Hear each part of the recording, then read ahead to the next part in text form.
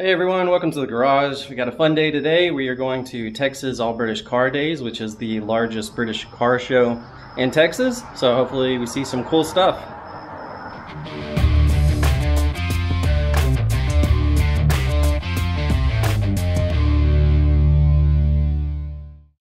So you guys can see here, I was fortunate enough to have my wife with me and going to the show, which is fun because I usually go to these things by myself, but we got a sitter, and so it turned out to be a fun four or five hours.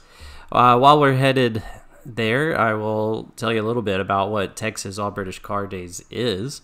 The show that's held annually in Round Rock, Texas, uh, which is just outside of Austin, Texas.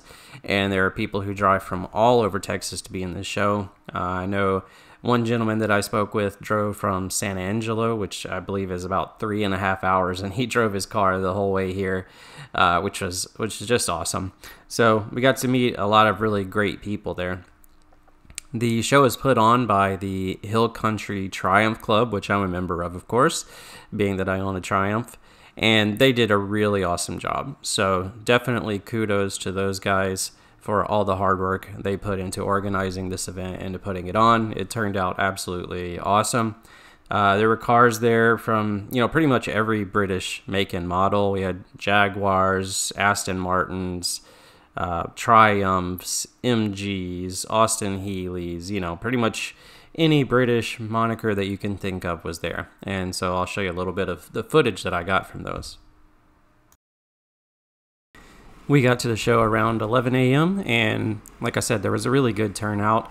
Uh, we got placed in the GT class, so you can see there's another GT6 here, some MGB GTs, some MGC GTs, and then you can kind of see where all the other groups in the parking lot were. We had some, like I said, uh, Aston Martins and everything else like that. One car that I can never get enough of, of course, is the Austin Minis or Mini Coopers, and there were a lot of amazing ones at this show, like this. Um, I believe it was a Mini Traveler. Not 100% sure the differences between the Austins and the Minis, I'll be honest, but this thing was gorgeous, and they had done a lot of really nice work to it. So yeah, judging by the license plate there, you can see it's a 66, but uh, this is definitely one of the coolest Mini Coopers there, and you can tell they put a lot of love in it. That mini truck is also absolutely beautiful, named B. am um, not sure what year that is, if it's a 69 or what, but you don't see many of those either. This Jaguar XK40, I believe, won Best in Show, and it was definitely deserving. An absolutely beautiful car that's a lot bigger in person than it looks in pictures. Unsurprisingly, there were also a lot of Triumph cars here. Uh, everything from you know TR7s, TR6s, TR3s, Spitfires, you name it. Pretty much every Triumph car was here, or at least a lot of them anyway. A lot of really nice ones on display of pretty much all years. This one was one of my favorite ones though, and this car is absolutely gorgeous. It's a TR4, but it's got a Honda S2000 engine and transmission in it. Uh, I was able to talk to the owner a little bit later, and yeah, really nice guy and absolutely gorgeous car. And this TR3, beautiful as well. This car was in my class. It's a 72 MGB GT, and I really like these as well. This one was owned by a guy who's pretty local to me named Kevin, uh, really nice guy, and a really pretty car. He's been working on it for years. I guess he's owned it for a really long time. Uh, he actually made that his daily driver for quite a while. Here's another Mini, and this one's actually for sale. You can see the number there on the screen if you're interested in contacting him.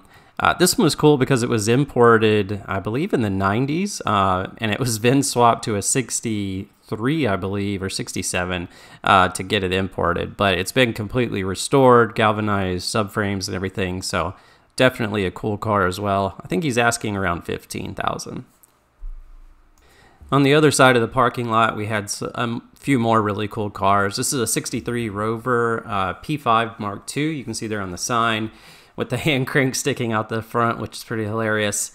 Uh, really big car. I was surprised by how big these are, but also really cool. And yeah, giant bus steering wheel in there. Um, we had another MGB GT over here. And then the Sunbeam, which was absolutely gorgeous. You could tell they put a ton of time and money into this car. The paint was flawless. Everything was just really, really well done on here. And a very, very pretty car. I believe it has listed on the sign down there what motor they had. I think it's a 302 Cobra or something like that. Uh, but yeah, beautiful car. Well, we're back from the car show. It was oppressively hot, but it was also an awesome show. Uh, we got to see some beautiful cars, made some new friends. Definitely want to give a shout out to the people who put on Texas All British Car Days. They did a great job, um, and the Hill Country Triumph Club for facilitating it as well. Uh, cool thing, we won first, uh, first in class for a GT car. So that was really neat. Uh, first trophy for the car since it got assembled and I'm super excited about that. So we'll definitely be going to more car shows and we hope to see you guys there.